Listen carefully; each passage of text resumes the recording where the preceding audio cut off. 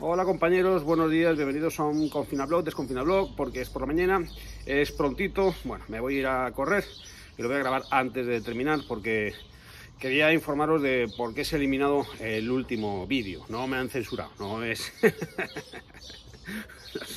los, hombres de negro no están por ahí eliminando vídeos, no todavía, es que eh, subí un Desconfinablog mmm, con una ruta muy bonita eh, por la Sierra de San Vicente pero varios me comentasteis por una parte que se oía el sonido muy alto, el de la música de fondo, y yo lo escuché y es verdad que sonía, se oía muy alto, molestaba, eh, bueno, un fallo de edición, y después que se cortaba el vídeo muy abruptamente y parecía como que estaba cortado, así, interruptus, ¿no? Y es verdad, falta una parte del, del vídeo, entonces, bueno, pues... Eh, antes de dejarlo ahí colgado, prefiero corregirlo y que la mayor parte de la gente lo vea bien y los que ya lo habéis visto podréis ver la continuación del vídeo, ¿no? Es decir, cómo termina, porque termina explicando esta historia de los vikingos, eh, los procesos históricos, por qué a los vikingos se los mira eh, con más favor que a los españoles, eh, bueno, pues eso estaba explicado con un trozo de vídeo que no, no, ha sido incluido, que era una lectura de uno de mis libros, ¿no? de Europa Nómada en concreto, donde incido, explico bien esta, esta, esta cuestión y aporto mi punto de vista. ¿no? Después eh, había un par de gazapos que también explicaré en el vídeo porque decía que los toros de Guisanda estaban en la provincia de Madrid y no están en la provincia de Madrid, están en Ávila, sino que están cerca de la provincia de Madrid. Es decir, si vosotros lo miráis en el mapa veréis que está prácticamente pegado eh, la linde de, con eh, las dos comunidades autónomas y entonces yo siempre he ido por Madrid a ver los toros de Guisando y por tanto decía que estaban cerca de la provincia de Madrid, pero en el vídeo me confundí y pido perdón a los fabulenses porque bueno, no les puedo privar de uno de sus elementos eh, históricos eh, más, más conocidos e importantes. Y además me han informado de una cosa muy curiosa y es que han puesto un torno para pagar una entrada, ¿no? Bueno, pues esperemos que sea para bien, eh, pero de los toros de Guisando, que es algo que está muy cerquita de Madrid, está yendo hacia Roblo de Chabela, hacia Cadalso de los Vidrios y por esa zona, y es un camino, un viaje muy bonito y que vale la pena hacer. Así que bueno, ahora la verdad es que como estáis en fase 1, a lo mejor no, los de Madrid no podéis ir a ver los toros de Guisando, a pesar de que están ahí. O sea, es... Están al lado. Pero bueno, y, después con respecto al puente romano, es cierto que el puente romano que hay en Castillo de Payuela es una reconstrucción posterior eh, del siglo XVII, pero eh, la información es que el origen del puente es romano.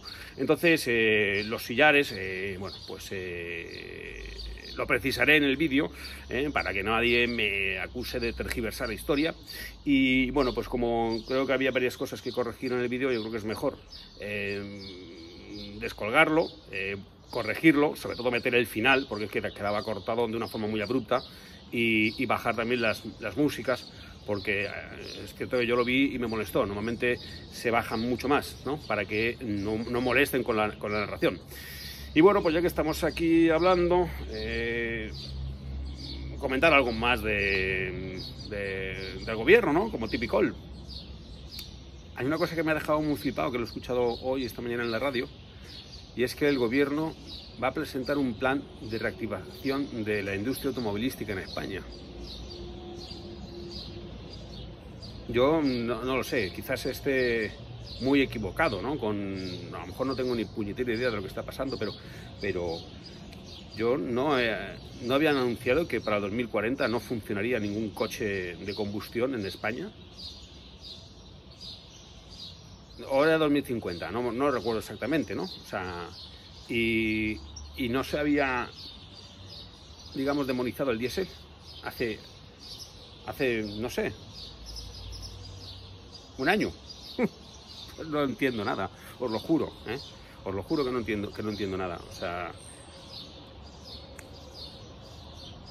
Mm, quizás si yo esté equivocado, lo podéis dejar en los comentarios cuál es la interpretación correcta, es decir, cómo se puede proteger la industria, una industria que está basada ahora mismo en las motorizaciones diésel, porque son los motores que han estado investigando, desarrollando los ingenieros, porque son los más, los han hecho eficientes a tope, ¿no?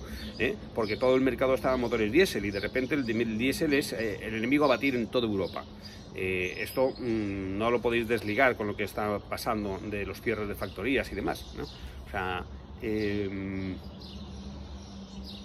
entonces, si tu horizonte temporal es que para 2040 o 2050, o sea, dentro de 20 años, no va a quedar un coche diésel en, Europa, bueno, en España.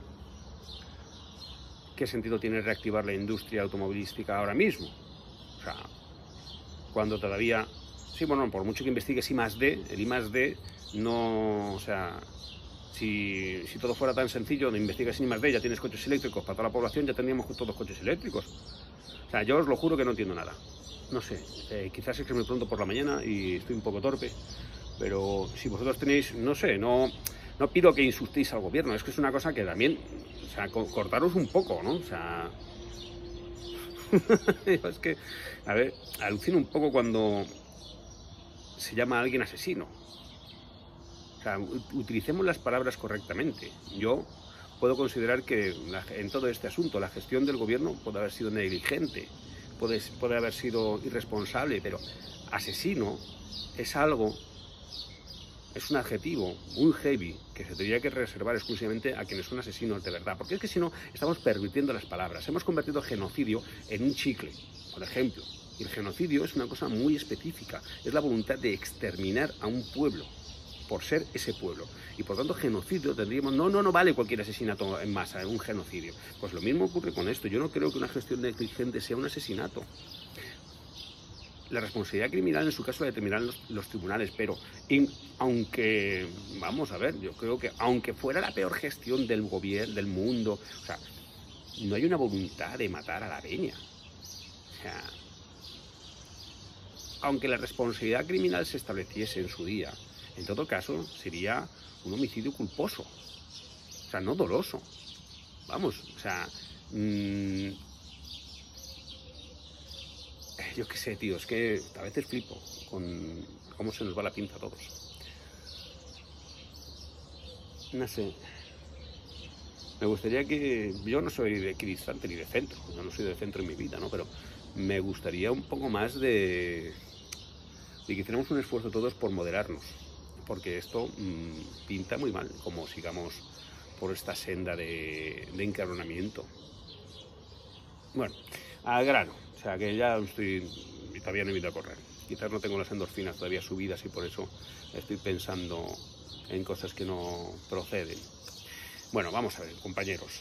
Eh, lo primero, el vídeo ya os queda explicado. Después, si alguien tiene una interpretación razonable para esta reactivación de apoyo del gobierno a la industria automovilística, porque ahora han cerrado mm, la planta de Nissan y se van 3.000 personas a la calle, y cómo eso se compagina con eh, esta política medioambiental que convierte a los coches y al transporte privado en enemigo a batir, porque eh, quedan los coches, eh, digamos, contaminantes, que son todo, porque todos utilizan motor de explosión, salvo que sean eléctricos, pero es que los eléctricos también contaminan, ¿no? porque las baterías esas no se fabrican de nubes de azúcar, pues eh, me encantaría leer una interpretación coherente y correcta cómo se compagina un proyecto, o sea, un, plan de estímulo a la industria automotriz con la fiscalidad que se va a ahora va a haber ayudas fiscales a, la industria, joder, y, eso, mm, el impuesto este al diésel, o sea, no, os juro que no entiendo nada. Yo qué sé, tíos. Estoy un poco flipando con todo.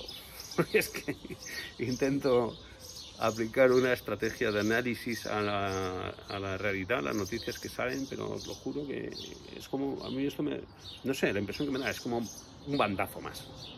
Cierra una planta, vamos a tranquilizar a la peña diciendo que hay un plan de reactivación de la industria automotriz, cuando hasta hace nada estaba diciendo que que los coches diésel eran malos, que para 2050, 2040 no iban a haber coches circulando eh, de, combustión en España. Entonces, que los, coches que se fabriquen ahora, me los, quieres jubilar en, o sea, no sé, en 20 años no tiene que hacer un, no tiene que haber un coche de estos que fabriques ahora. Todos tienen fecha de caducidad.